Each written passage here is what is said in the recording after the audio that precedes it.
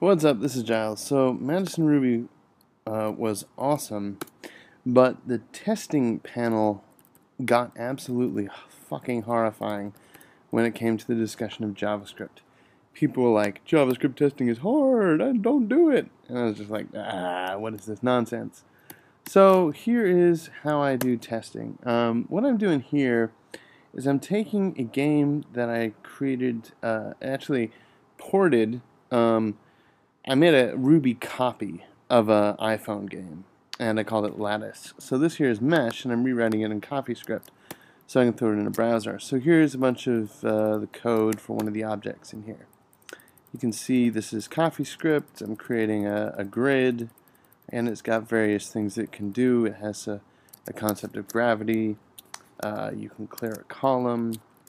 You can check the contents of the grid and you can you know insert things into the grid.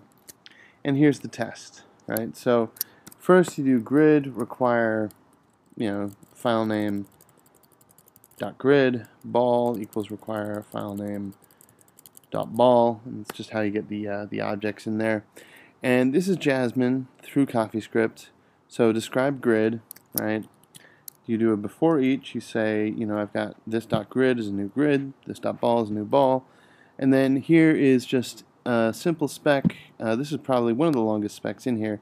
It creates a blank 7x7 grid on initialization. So you expect the grid rows length to equal 7. For blank row and grid rows, expect blank row length to equal 7. For index in blank row, I guess I should have said for slot, but you get the idea. Expect blank row of index to equal null. Right? So this verifies that it does indeed create a blank 7 by 7 grid on initialization. So on and so forth. And then to run these, I just do this. Finished in 007 seconds.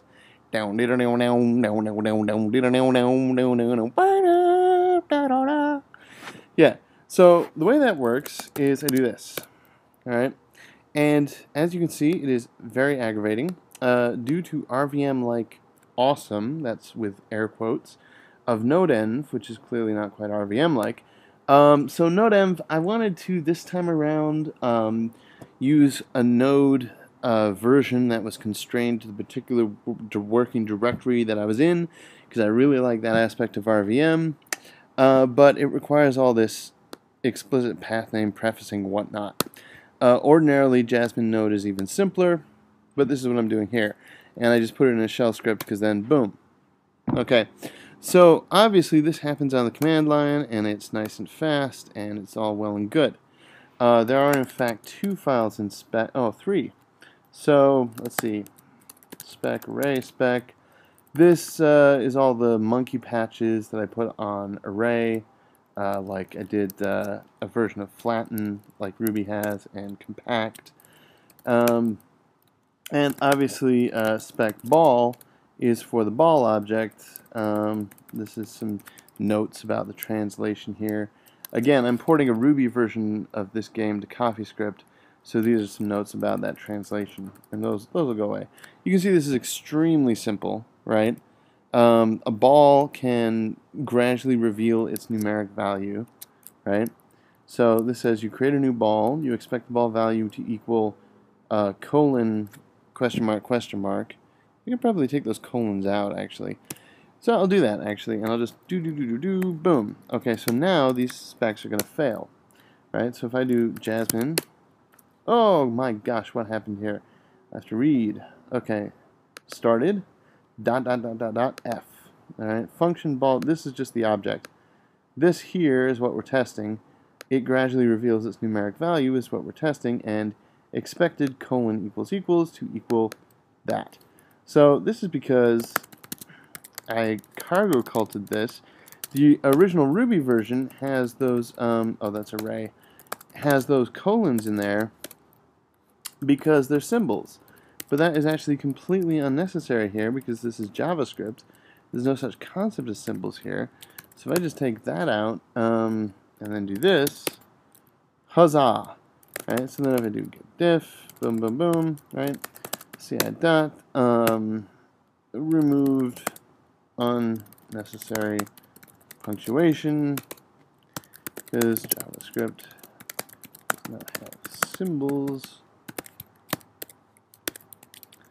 uh, but the original Ruby version did.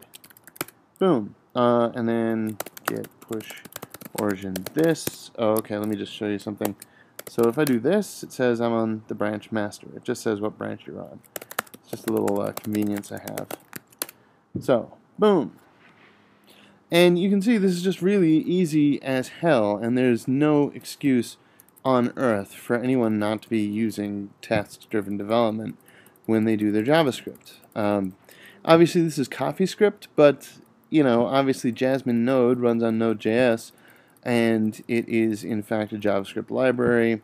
If you prefer JavaScript to CoffeeScript, I can't imagine why, but if you do, uh, it is equally trivial, um, and I've used it not just in this game, but in you know a real production application uh, where it was you know quite useful. So uh, that's it with one caveat, right, which is that this is all object-oriented stuff happening on the command line which is really, you know, how sane developers develop. But at some point, you're going to want to hook into the DOM. Now, there is something like um, Node DOM or, you know, jQuery Node or something like that. Uh, I don't remember. Uh, when it comes to stuff that actually hooks into the DOM, I'm perfectly happy with going like the uh, traditional route with Jasmine and just using Jasmine as opposed to Jasmine Node. Um, let's see if I open a browser if it won't have any porn in it. That seems good. Um, you never know. Okay, so here you go. This is how you use it. Um, and is there a example that I can show you? Hold on.